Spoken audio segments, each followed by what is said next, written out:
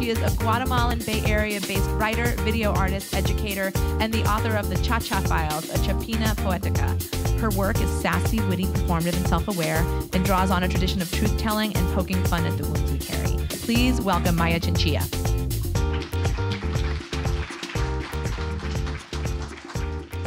Hello. I just wanted to share uh, two images while I'm reading because um, I'm very much inspired by um, when I used to live in San Francisco in the Mission, and um, the artists I work with uh, a lot, Rio Yanez, is also born and raised in the Mission, um, and his family, um, his mom, Yolanda Lopez, uh, is a really well-known Chicana artist, and um, they give me a lot of life, and they're currently sort of, you know, fighting their own eviction uh, after living here for, you know, more than 30 years. So I just sort of carry their work with me. They did the cover of my book too, so that was really important to me to, to work with artists. And so this first piece is a, a new piece, and it's, you know, she said something about tenderness, so I think this one is represents the tender. The way I love is the same as when I started first crushing in the 80s, except the jeans are tighter and lower, and the tape decks are now in sound clouds and my hair is no longer permed and scrunchy, crispy. I still drive by your house with my bestie, slinking down in the seat, thinking no one will see me, hoping to get a glimpse of you, mowing the lawn, or you between the blinds, rocking out to maybe Stone Temple Pilots, or maybe you'll wave at me, or you'll think, is it that creepy girl again? Except now my car is a search engine, and my assumptions about your life are greater. Who is that girl in the picture? Is that a friendly arm around the shoulder? Or is that a we've been doing it on and off? And the reason why I look so electric in this picture is because of our sexual tension kind of photo. What does that smile even mean? Are you hiding your sadness? Did your parents kick you out at age 18? Did you ever mosh to Black Flag, Caifanes, or was 90s R&B more your thing? My jealousies are still volcanic. I'll still rip your posters of plastic novela stars hidden in your pocket that you will hand me in an offering to prove your love is real. Except now I will take a breath and use I statements, check in with my body before responding, and will not chase after you, begging you to stay if you try to leave. Thank you.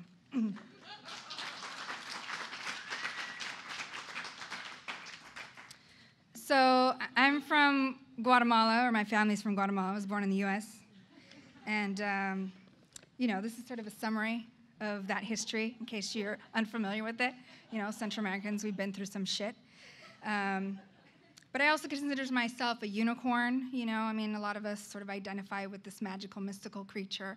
And sometimes we see other unicorns and you sort of run in slow motion towards them because, you know, you're like, we exist. So here's my version of what it's like to be a Central American unicorn for those who aren't. First of all, I am a mythical creature that is only mentioned, if at all, in relation to war, trauma, maras, revolutions, earthquakes, canals, volcanoes, Indians kidnapped by aliens, and the Guatemalan maid as your punchline, caring for your children so you don't have to, who has her own story to tell. What happens if I never mention these things? Am I contributing to the loss, the silence, the erased lines, the gaps in historical memory, the opportunity for reconciliation to make amends? What if I never mention pupusas? Or my grandmother's pepian, black beans and rice? Or a quesadilla that's a cheesy bread, not two tortillas with melted cheese? I know, mind blown. Or the million ways to fry a plátano or Honduran baleadas, which I have yet to try. What if I tell you that I am usually the only one of my kind? That if I make up what it means to be Guatemalan hyphen American, no one in the room will be able to call me a liar? What if I swear to all that is unholy that if one more person shares with me that they went to study Spanish in Guatemala, and backpack through the highlands without ever mentioning massacred Mayans, the Quiche, the Mam, the Ixil, the Cakchiquel, in their Mayan woven pajama pants. Yes, modern day Mayans not kidnapped by aliens or the absence of that is Ladino or mestizo, plus the Garifuna, Mezquito, Pipil, Lenca, not mysterious civilizations, disappeared. Yes, thank you for knowing that the Maya invented the zero. And the world didn't end up stopping in 2012. But I don't want to hear about your trip unless you're fundraising to get me and the diaspora back on a regular basis. What if I tell you I don't speak any indigenous languages except for the remnants of words that have crept into my Spanish I relearned in high school when I went to Guate that summer? That my family denies any indigenous ancestry, though DNA and memory say different. That we are an urban people who value engineering degrees above all else. And that I haven't been back in 10 years and that there are silent wars among cousins, aunts, and uncles, Catholics versus Protestants versus atheists versus cremas versus rojos. Those are soccer teams in Guatemala. Disjointed conversations of over here from over there and over there from over here, and I can't go back over there in the same way anymore. I can't go back there. Over there doesn't exist anymore. And so I pack my Central American paranoia that says everyone is shady until proven otherwise. Don't sit with your back to the door. Don't count money in public. Leave your shoes next to your bed in case you have to run at night. Remember, the walls have ears. Mixing grains of sands from an imaginary homeland, file them in a plastic file box, and ride off to the next adventure, leaving a trail of glitter, copal, banana leaves, and wood burning snow, stoves, and moist green earth, so that other magical creatures may find me. Thank you.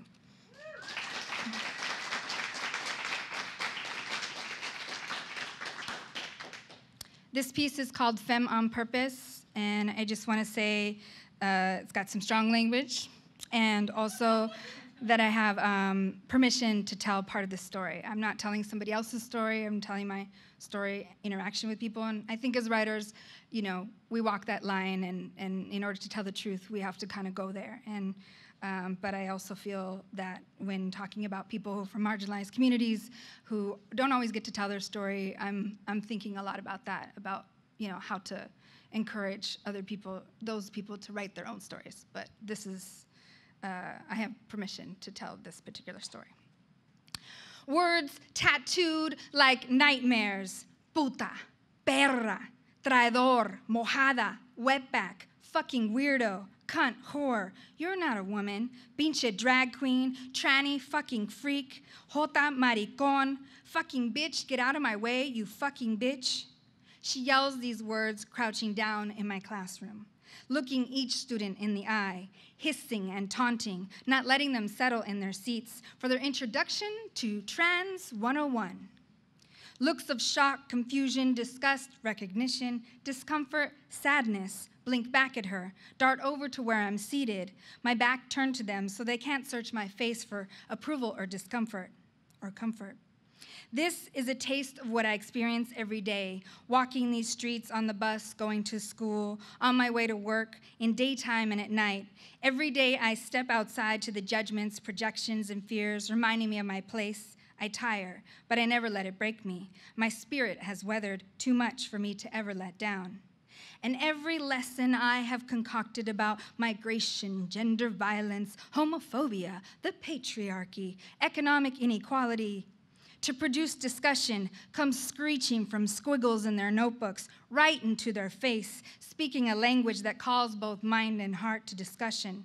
They can't look away, hide in textbook descriptions, or parrot back to me in essays of what they think their profa wants to hear. Before them, this tall, hazel eyed mujer with shades of walnut hair, frame indigenous features, full lips form every lilt of word, some careful and determined, some soft and hopeful, some matter of fact and biting. Her laugh cuts through any sorrow. Students' eyes wide and careful, stumbling, polite words to get it right. What else do you want to know? Do you want to know how I do it? Where I put it? Who I let hold me? What my status is? Are you thinking about it? Do you want to know? Because I do. I want to hear it all. Don't be afraid. Now's not the time to hold your tongue. Here, I have the time to speak back for every time they tried to break me, steal my humanity. I won't judge you. I won't hurt you like they hurt me. She weaves stories of being tied to a chair until she washed secret stash of makeup from her face, or rejected dreams of dresses and tight jeans, played with socks stuffed under her blouse to imitate curves her mama told her were not for her. Her mother, her father, snuck her dolls, knows she likes pink, whispered, Mija, tú eres mi hija, when her mother was out of earshot. Her brothers stopped walking with her to school, ran up ahead so no one would think she belonged to them. She didn't sell her body over there. She worked in a secondhand clothing store adopted by a fairy godmother who showed her how to contour her edges of her face, friendly con las chicas de la calle, but didn't want that life. Wanted to go to school, wanted a career, had a boyfriend who took her shopping and to the movies. After class, over Chinese food in the Castro, proud of every English word she can use to order her spring rolls and chow mein. She says, Ask me anything. Do you want to know what I've done? I have earned every cut, mija. I think of how my own body has been under attack on these streets, the way men have whistled and sneered and even hissed. Nice tits, wanna fuck? While walking two blocks from my car on Capp Street to Queer Cumbia, where I think it's safe to be a sexually actualized mujer. Cat calls regulate who belongs where and how and when, no matter how many degrees or dollar signs I add to my name. Safety is something I always have to think about.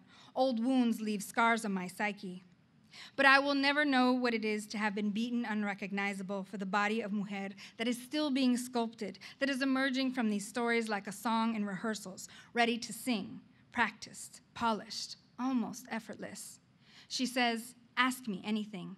And I tell her, I want to hear more about your boyfriends. Do you believe in love? How are your English classes going? Do you like your new job as a health promoter? The things I have done for love, the things I have to do to survive in este país. She scrunches her nose. Tú no eres lesbiana si te gustan las buchas. You're not a lesbian if you like butches or masculine women, trans men, she sends, says to me.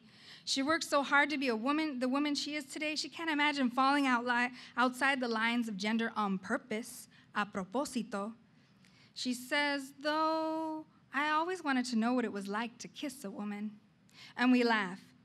I am patient with my own stories, what is under the dressing I present, that my queer is on purpose, that my femme is on purpose, that it was earned with discovery, self doubt, love, like she did. I never found a boy that could make love like a woman, although I tried, I tell her. Loving women is like loving myself times two.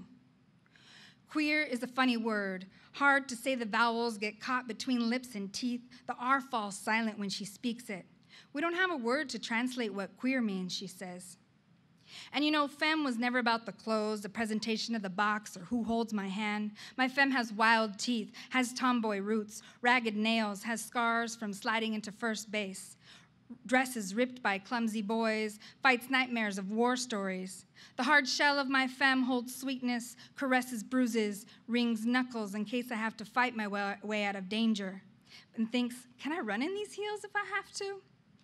My femme flags queer with nail polish and glitter. The books I read makes friends into family, raises my own eyebrows at gender, the way Oakland queers express themselves with their asymmetrical haircuts and fashioning radical politics out of ironic t shirts, community gardens, fanny packs, and neon leggings from my youth.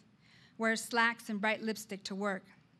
My femme has put my tomboy to bed, knows how to take pain that is wanted negotiates the terms, consenting, sexy, whispers, yes, yes, yes. My femme's been beat down from the self hate, the shoulda couldas in my rear view. The wound is my trophy, the fierce in my soft armor. Digs bare feet into earth, calls moon to chest, ocean washed request. Dresses up sadness with sequins, fake flowers to the hilt when I want to. Shakes off the cobwebs and cleavage that begs, come on, please. I dare you to. Even these chichis are political, exactly as I should be. She didn't come to this country to sell her body so that she could get the body that she wants. This is not the story she came here to tell me. It was a job. Some give it away for free. I got paid for it, she said. Don't ever feel sorry for me. That's the worst offense you could offer. The rest doesn't bother me. My spirit is stronger than it ever has been before. And this is how I learned femme solidarity reflected femme fierceness from women who have earned it, who are different, who are femme on purpose, like me. Thank you.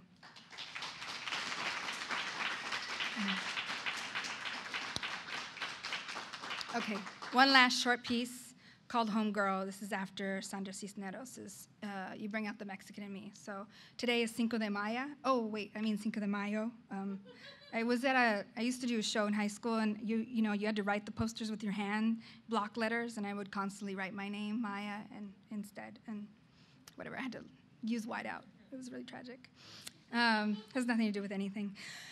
You bring out the homegirl in me, the one that has your back, my inner cha cha chola with burgundy lips and sticky gloss kisses, the chingona intellectual who'd write the hoochie feminist manifesto and who'd cut a bitch just to see you again.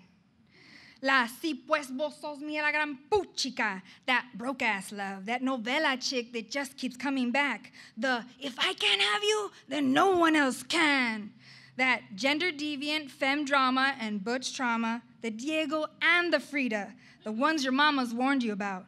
The steam from the jungle heat, the jaguar queen and jade obsidian, the social butterfly turned homebody, the quetzal bird's necessary freedom. I'd give it to you Cause homegirl, you bring out that puta madre más cabrona punk ass bitch that don't need nobody, but just has to have you. Thank you. So much, Maya. That was awesome. Um, Maya has copies of the Cha Cha files over there for your purchasing after this.